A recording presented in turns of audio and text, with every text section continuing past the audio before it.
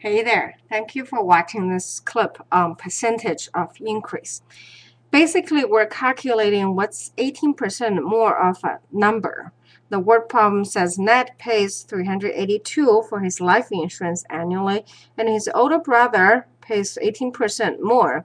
And his older brother, we want to know how much does Ned, his older brother, pays.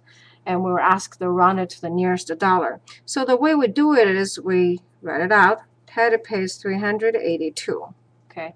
First thing we can do, there's actually two methods. The longer one is this.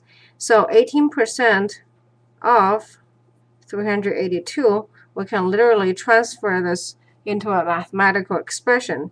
18% is 0.18. The word off means multiply 382. Okay, so we're going to calculate it what this one is, and then once we calculate it, what we're going to do is we're going to add it to what he pays. So 382, and here we have 3.18, that's times 382. So we have $68.76. Okay, so basically we're going to round it to $69. Okay, now we know how much 18% of this one is since Ned, his brother, is paying this much more. So brother, then it's paying really $69 added on 382 and for this we have $451 okay. Now that's one method. Second method you can see that well since Ted is paying 382. His brother is paying $382 times 1 plus 18%.